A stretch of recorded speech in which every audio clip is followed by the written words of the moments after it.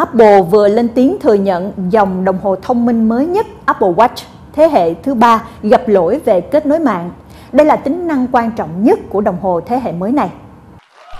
Apple Watch 3 vừa ra mắt vào tuần qua và gây chú ý bởi tính năng quan trọng nhất, đó là tính năng nối mạng và thực hiện cuộc gọi mà không cần thông qua iPhone. Tuy nhiên, nhiều người nhận Apple Watch 3 bản chạy thử để review đã cho biết họ gặp lỗi kết nối khi không thể kết nối Apple Watch vào mạng di động. Trong khi đó, Apple Watch tự động tìm đến các mạng Wi-Fi công cộng và bị treo mạng. Ngay sau đó, Apple đã xác nhận thông tin này và cho biết đang cố gắng khắc phục lỗi. Bản vá sẽ được cập nhật sớm nhất có thể.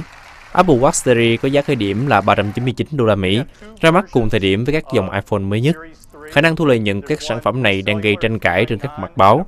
Nhiều chuyên gia lo ngại cả iPhone 8, iPhone X và Apple Watch đều sẽ không đạt được mức doanh số như dự báo. Sau thông tin này, cổ phiếu của Apple giảm trên thị trường chứng khoán Mỹ.